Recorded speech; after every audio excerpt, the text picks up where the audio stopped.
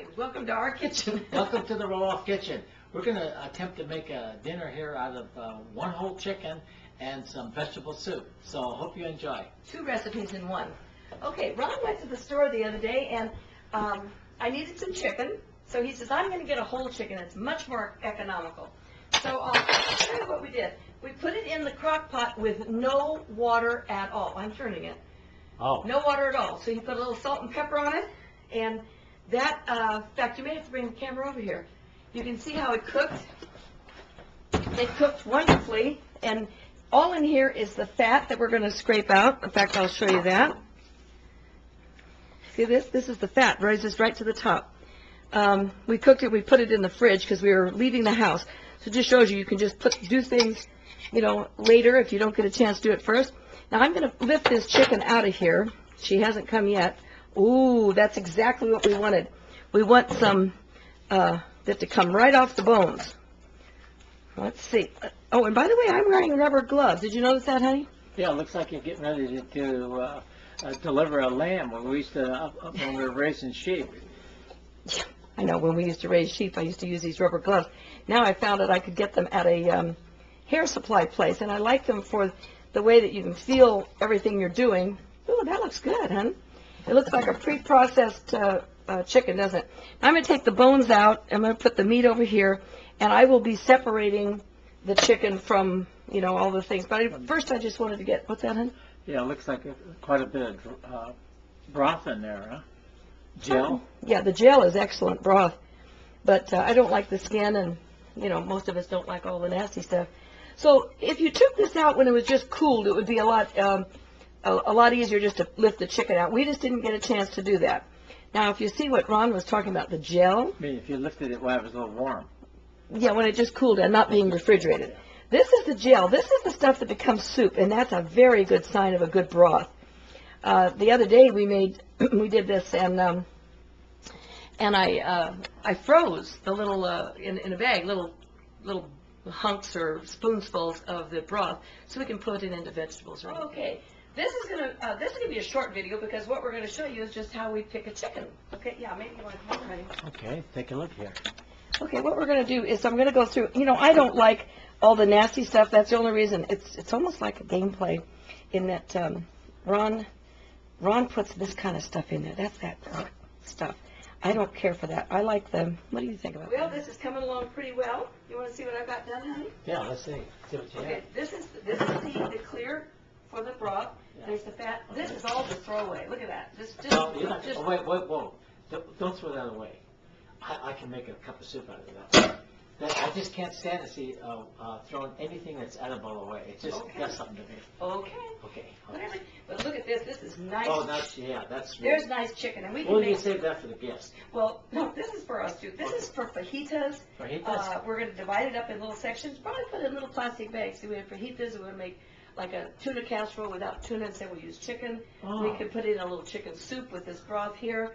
Um, there's a chicken salad. There's lots of things you can do with chicken, but it's a nice way to get chicken. And it takes probably about a half an hour here, but it took no time at all. In the- Okay. in- okay. Um, I'm gonna show you the final part. This is the good part. See this nice breast? Now, first off, there's some of this nice gel. Remember I talked about the gel that's gonna be, that just kinda caught in the, um, the neck of the chicken, and now here, this is the Ooh, breast that's meat. Pretty good. Just size, pull that uh, breast meat right off in big hunks. And you know, like what Ron would do, is would just take, he would take the breasts off and put everything else in a pot. And then he would sort it later, because I wouldn't be eating it.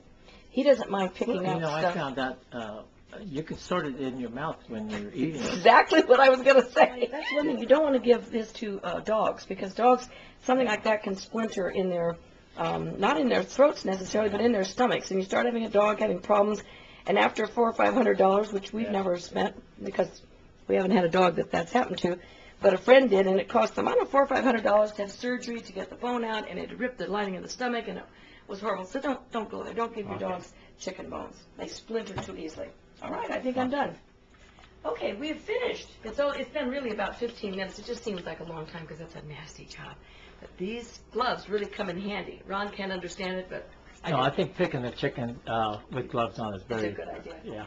Um, okay, here's what we have as far as our chicken. Of one little cheap chicken. I think it was, what- how much did it Uh, cost? four About dollars and Four fifty dollars, cents. four dollars and fifty cents, um, a chicken, and there you've got enough meat for, as I was saying, you've got fajitas, you've got that, remember that enchilada uh, dish that I made?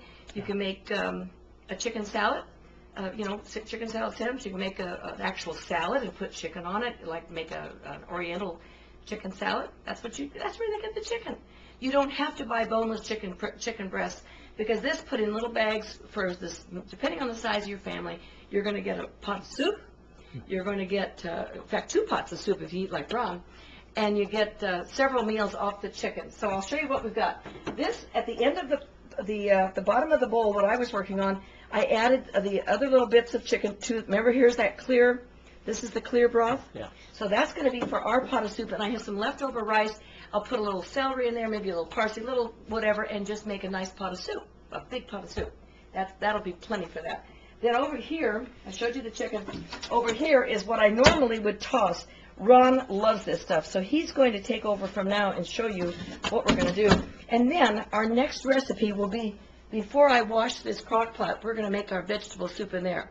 I can't feed my vegetarian friends in there. But, you know, some of you don't wanna be bothered washing dishes in between, that's the big problem, your kitchen gets too crowded. Keep this crock pot going. I had the chicken in there, we cooked it, oh, by the way, we didn't add any water at all to the chicken. It roasted it wonderfully. There was all that nice broth. You don't have to put water in it. If you start it in a crock pot, we put it on high, it's still slow. It's so simple, even Ron can. Okay, tell me what you're doing there. Well, uh, I'm- I see you have uh, some scraps that you really don't, some of the bones that, uh, uh, if they're in the soup, they're a little, they are discomfortable for some people to uh, suck the bones and spit the bones out. So, uh, anyway, we have a whole pot of uh, what I would classify as The good semi-good stuff. But I'm gonna put some water in here, we're gonna boil it, we're gonna make it, we'll have enough soup for this afternoon, Okay. okay? I think that Zach and Molly and Jacob are all, and maybe even Jeremy are coming by this afternoon, so, Well, they're gonna be surprised how uh, good. you know, and I eat it if you fix it, but I do have to strain it with my Uh, teeth. uh, I'll strain this for you, but uh, you'll be surprised how good, of course, I'm gonna have a little uh, spices in here, so it's Mhm. not gonna be just chicken. That's one thing. Ron is a much better spicer So than I. gonna spice it up. Uh, Might as well get this going now. Let me get my light on you there. We're dirt, working in a dark kitchen. So you're gonna turn up on high? For high right now, and then we'll just throw. I, you know, what's in the cabinet? That's right. So I kind of look in here and just go, oh, but you know what? Uh, It may seem funny, but I like a little Italian season, and, uh, Okay, so Italian seasoning's a little sage, a little rosemary, a little, yeah. so Thyme, just sprinkle whatever, little bit of that okay. there. And then, uh, of course, I'm, I'm big on the garlic.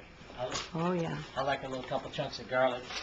Well, that's those uh, dried garlic, Just isn't it? those, throw a couple Yeah. of those in there. Okay. And then, of course, uh. You're, you're a big fan of garlic Well, we gotta have a little onion too. I like, uh, uh, a little onion and garlic, mostly onion though. And then, I think that's just about does it. I'll put a little dash of pepper in here. You put salt? Oh, absolutely. Now, let's see how much pepper you put in. Probably a, a Not much because it teaspoon? makes it hot for some people. Kids don't like, uh, too much pepper. So I backed off the pepper, pepper a little bit here. And, and let's see, we got some, we got any of that sea salt. Okay, here's a little sea salt. So we'll, uh, I don't want to put too much, uh, that's enough.